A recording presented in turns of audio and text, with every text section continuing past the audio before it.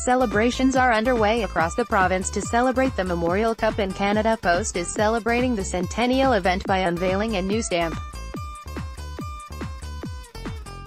Canada Post lifted the veil on the new stamp at City Hall on May 18 celebrating the history of the Memorial Cup.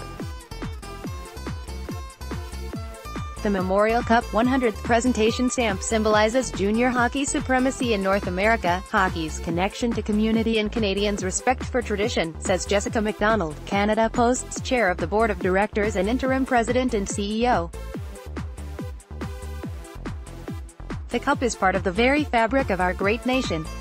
The stamp features two players from the Regina Pats who competed in the very first Memorial Cup in 1919 against the University of Toronto. The Regina Pats have a very long history in our community and in Canada's hockey community, said Regina Mayor Michael Fougere. This design acknowledges that the Pats legacy is intertwined with the Memorial Cups, and I have no doubt our residents will be very proud of this representation. The stamp was illustrated by Louis Hebert and designed by Paprika of Montreal.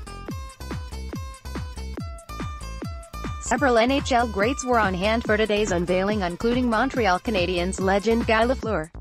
Copyright 2018 Global News, a division of Corus Entertainment Inc.